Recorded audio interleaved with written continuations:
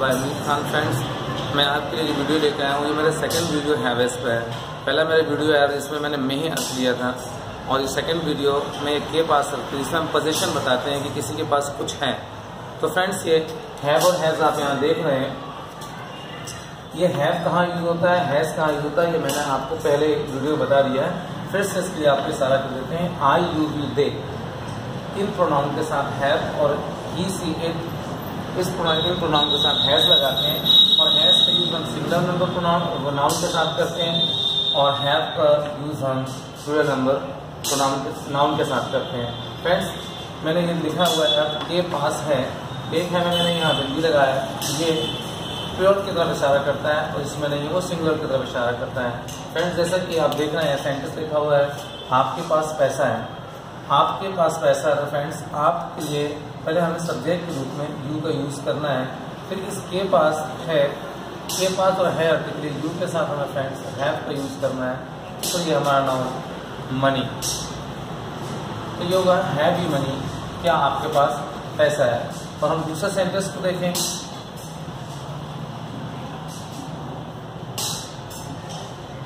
उसके पास जवाब है। फ्रेंड्स उसके अर्थ के लिए हमें यहाँ ही का यूज़ करना ही सिंगुलर नंबर सब्जेक्ट है। और के पास है अर्थ के लिए हमें यहाँ हैज़ का यूज़ करना। ही है उसके पास है। जो भी है फ्रेंड अब हमें यहाँ पर लिखना है जगह, जवाब जवाब के लिए हम लिखेंगे आंसर ही हैज़ आंसर और हम अब थर्ड सेंटेंस लिखने जा रहे हैं। इस पर ध्यान दीजिए।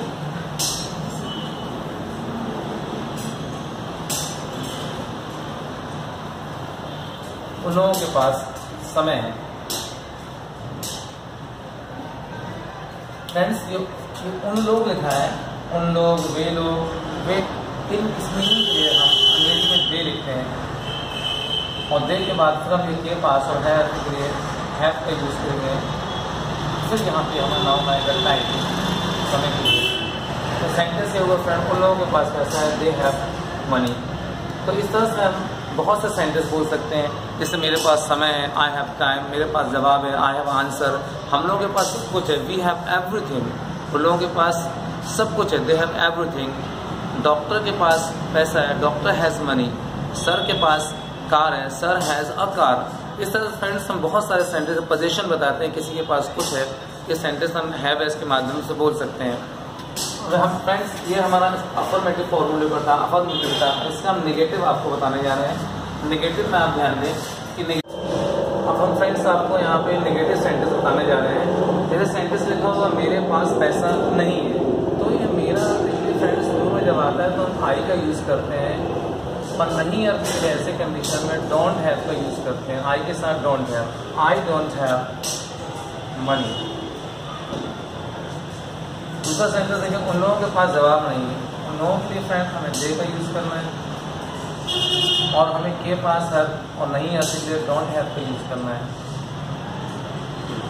दे डोंट हैव जवाब के लिए यहाँ हम आंसर लिखेंगे। जैसे उसके पास मोबाइल नहीं है, ये सब्जेक्ट सिंगुलर नंबर ही है। और ही के साथ हम लगाएँगे डजेंट है